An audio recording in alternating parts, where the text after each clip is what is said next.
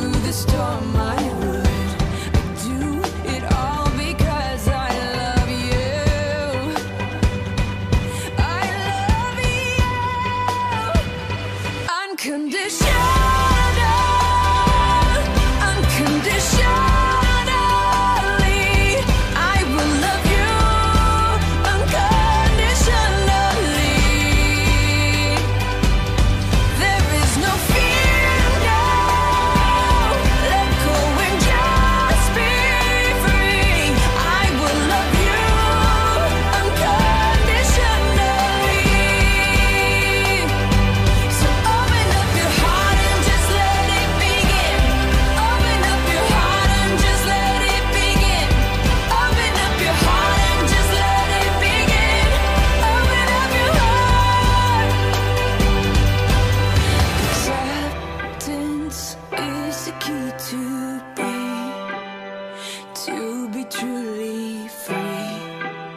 Will you do the same?